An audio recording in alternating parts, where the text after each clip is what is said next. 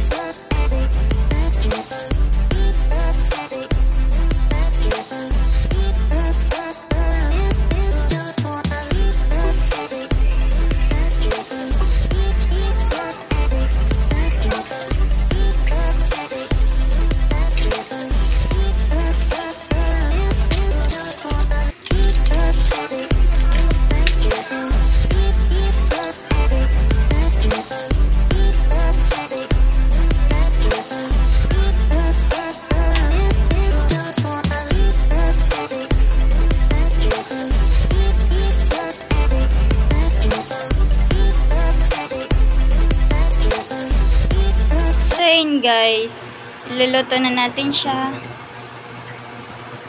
So ilalagay na natin to yung chicken dito.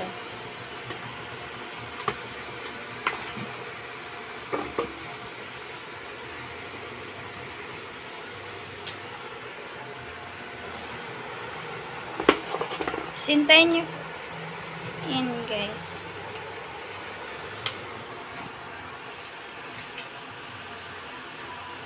So, tatakpan natin guys.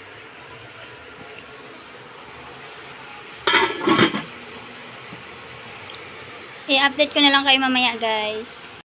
So, ayan na guys. So, haluin lang natin yan siya guys. So, intayin nyo lang siya na patuyuin nyo yung sabaw hanggat sa mag-oil na po siya. So, haluin natin guys.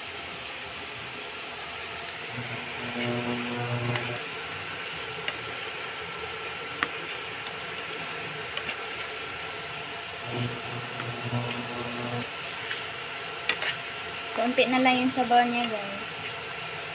So, hintayin nyo lang siya na matulo. Wala po akong nilalagay na tubig, guys. Yun lang po talaga yung soy sauce, vinegar, and seasoning, tapos a little bit paminta. So, yan lang, guys. Tapos, wala din akong nilalagay na oil. Ito lang po talaga. So,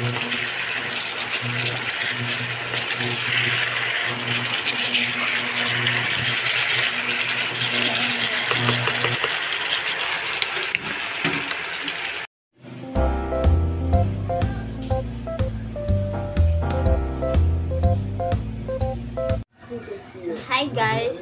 So, dyan lang po nagtatapos ang ating pagluluto ng adobong manok. Sana nagustuhan nyo ito and may natutunan din kayo sa video na ito. Kung nagustuhan nyo itong video na ito, huwag mong kalimutan na i-click yung like and huwag mong kalimutan mag-subscribe and click the notification bell para ma-update kayo sa aking mga videos na i-upload. So, thank you so much guys! Sana nag-enjoy kayo and see you on my next video. Bye-bye! Thank you for watching! Bye!